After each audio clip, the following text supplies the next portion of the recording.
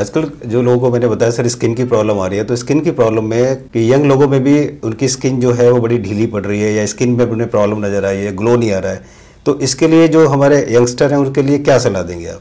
ये किस वजह से है। बॉडी को भगवान ने इलास्टिक बनाया है। एक छोटे बच्चे के आप स्किन लीजिए जैसे मान लो मैंने अपना स्किन लिया ऐसे पिंच किया और करके तीस सेकंड रखा।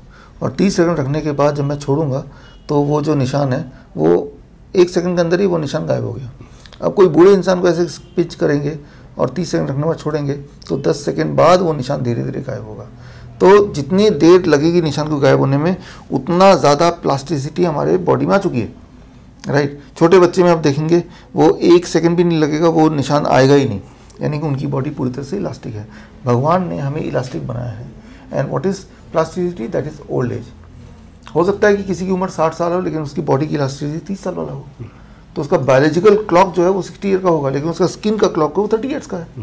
It is all about elasticity and plasticity तो जो जिनकी झुरियाँ पड़ जाती हैं that is called plasticity okay उसके स्किन के नीचे अगर देखेंगे तो एक परत मिलेगी आपको शुगर की परत। कई बार लोग होते हैं जो शुगरी आइटम खाते हैं रिफाइंड फ़ूड खाते हैं तो उनकी बॉडी का ब्लड शुगर बढ़ता नहीं है। क्यों? क्योंकि उनके बॉडी की वो आदत है कि वो शुगर लेके ब्लड से फटाफट स्किन के नीचे डालता है। तो वो बोला देखो मुझे शुगर नहीं है। उसको शुगर तो नहीं है लेकिन उसको प्लास्टिसिटी की प्रॉब्लम है। वो जल्दी बूढ़ा हो जाएगा। हालाँकि उसका शुगर नॉर्मल रहेगा। कुछ लोग ऐसे हैं कि जिनके बॉडी में शुगर का लेवल बढ़ता रहता है ब्लड में लेकिन वो स्किन के नीचे नहीं जाता। यानी कि उनकी स्किन तो इलास्टिक है बट उनका शुगर लेवल ज़्यादा है यानी कि उनको डायबिटीज़ है।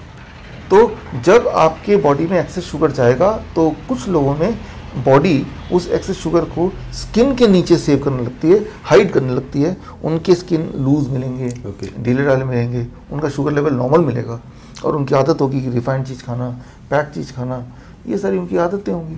तो पहले तो ये कि कॉज क्या है? Cause is refined and pack things process thing उसको छोड़ दीजिए। उसको छोड़ देंगे तो और ज़्यादा गड़बड़ नहीं होगी। अब कुछ चीज़ ऐसी हैं जो आपकी बॉडी को इलास्टिक बनाती हैं।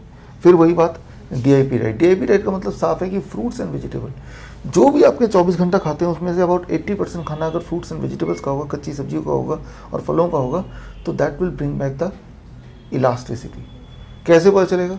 आप करके देखेंगे तो पता चलेगा। कितना टाइम लगेगा? नौ महीने से एक साल लगेगा। आपको कैसे पता चलेगा? आप टेस्ट कीजिए कि तीस सेकंड के बाद जब निशान पड़ता है तो कितने सेकंड में निशान जाता है। ओके फिर हर महीने दोबारा दोबारा टेस्ट कीजिए। नोट करके रखिए। वैसे तो शक्ल देख के कोई भी बता देगा लेकिन फिर भी अगर आपको बहुत बहुत माइन्यूटली मॉनिटर करना है तो ये तरीका है। ये स्किन टेस्ट ये ये ये टेस्ट एक नॉर्मल टेस्ट है जो लोग करते ही हैं। तो दिस स्किन की जो प्रॉब्लम है that is all about elasticity and plasticity याद रखिए जब स्किन आपका प्लास्टिक है तो बॉडी के अंदरूनी ऑर्गन भी प्लास्टिक होंगे। तो जैसे प्रोस्टेट की दिक्कत है इस तरह का जो कई तरह तरह के पेन है सर्वाइकल का पेन है these all comes under plasticity only तो अगर ऐसी प्रॉब्लम है तो वो भी रिवर्स होने लगेगा मतलब वो प्लास्टिक तो था अब इलास्टिक में आ गया। Okay okay. Right right? तो सिर्फ़ it is not only about कि हमें दिखने में वो इंसान बुरा लग रहा है it is not about that वो तो आखिरी चीज़ है। उसकी इतने सारे रिप्रकेशन है। तो plasticity is all about accumulation of sugar under the skin okay right और वो जो शुगर है वो बॉडी से हटाई जा सकती है by being on a proper diet